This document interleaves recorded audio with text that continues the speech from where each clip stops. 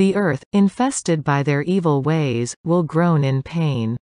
Monday, November 24, 2014 at 3.30 p.m. My dearly beloved daughter, how much comfort I need at this time as so many have fallen away from me. My tears flow in great torrents as Satan's army, infested with one of the most vile of his demons, Jezebel, has tempted many of those who profess to represent me. How much they have forgotten and how little they remember my promise to come again.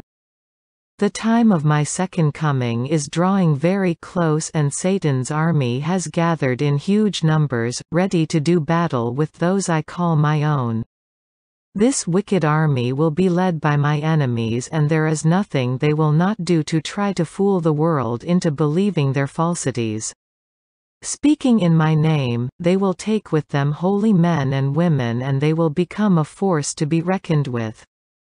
Embraced with great gusto by a secular world, they will change the face of the earth and in their wake will cause havoc. The earth, infested by their evil ways, will groan in pain and with this will be witnessed by a great upheaval. Every wicked act of desecration, which they will inflict upon my body, will be manifested through changes in the climate, failure of crops, changes in the atmosphere and a deluge of such magnitude, there will be few nations on earth that will not be touched by their actions. My Father will inflict great suffering upon them. For everyone they condemn in my name they, too, will be condemned. For every act of pain they inflict on God's children they, too, will suffer the same pain. The hell they will bring to millions will result in a punishment, which will be akin to the fires that burn daily in the eternal abyss. The gates of heaven will be slammed in their faces and they will scream in agony when, on the last day, they will be blinded by my light. They will run, like the cowards that they are, and try to find shelter from my justice but they will find no place of solace.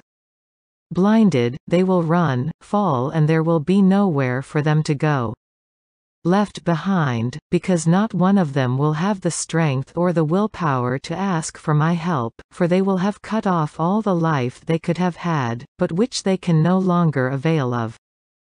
Hear me now, as I solemnly declare, the man who lives by my word, and who remains loyal to me, has nothing to fear.